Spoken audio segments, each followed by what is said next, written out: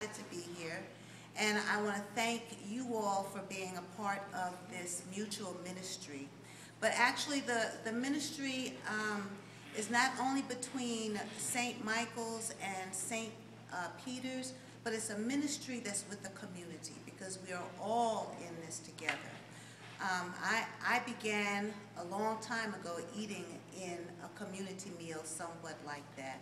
And so this is very important for me. But I just thank you all for being a part of this.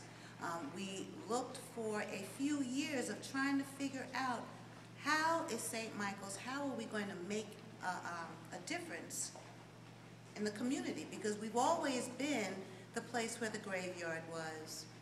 Or what else was it? Um, oh, that place always that's set in the back.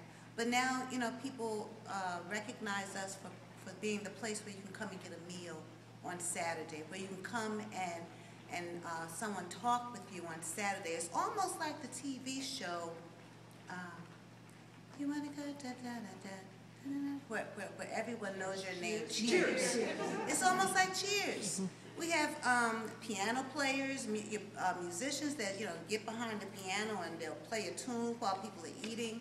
But the, the, the conversations that we have with one another, you know, someone made fun of me. They call me. They say, "Oh, she's playing musical tables," because I bounce from table to table to talk to people, um, to share my story, to listen to theirs, and so it's just such an amazing ministry that um, that Ellen said that when we first sat down to talk about it, we had no idea how it was going to happen. We had hot dogs and potato chips and some juice. Didn't have any money. We didn't know what was going to happen. And it's just grown by leaps and bounds. And people, you know, we have regulars and, you know, I can't get in the door fast enough. I have to say, can I sit down, please, first? You know, because people need to talk. People want to talk. And um, so it's just been a wonderful ministry. So I just want to thank you for having us here tonight. And I want to thank you all for everything that you do. And um, just God bless you. Let us pray.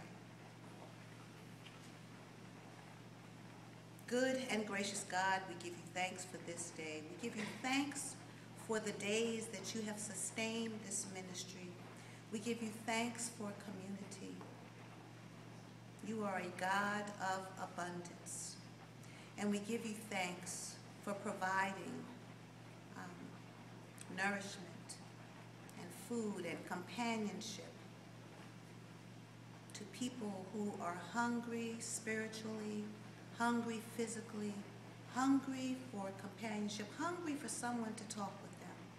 We just give you thanks, dear God, for this ministry. We give you thanks for the Peter, for the people of St. Peter's and the people of St. Michael's and everyone that comes through our doors to be fed as we ourselves are fed doing this ministry. In Jesus' name we